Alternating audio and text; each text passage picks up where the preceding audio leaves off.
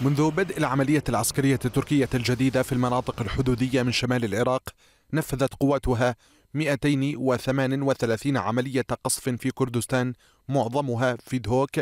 نتيجة القصف احترق أكثر من 20 ألف دنم زراعي ووضعت أكثر من 600 قرية تحت تهديد النزوح مع نزوح ما لا يقل عن 160 قرية بالفعل.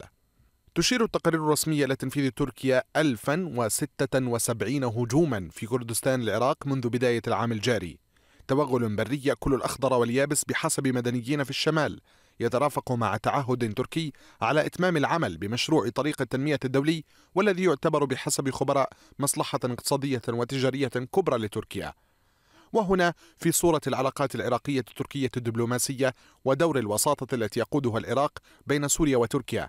تطرح التساؤلات حول مصير المصالح المشتركة بين بغداد وأنقرة ليس فيما يتعلق بمستقبل طريق التنمية الذي يعول العراق عليه اقتصاديا في فتح بوابة تمهد الطريق لتبادل تجاري عالمي إنما لما يعكس ترجمته التوغل البري الذي بدأ يقلق مراقبين حول مدى استمرار وعمق ذلك التوغل لما أوقعه من ضحايا مدنيين وصل عددهم إلى ثمانية أشخاص وخلف خرابا في قرى عدة ومعادلة السيادة العراقية.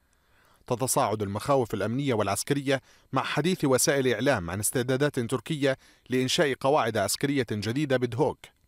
في المقابل فإن اشاده الرئيس التركي بالمقاربة العراقية لعودة العلاقات التركية السورية توضع في حسبان قراءة المشهد المستقبلي لما سينعكس على مصالح العراق الحدودية الأمنية والاقتصادية مع كل ما تشهد المناطق الشمالية من عمليات عسكرية متسارعة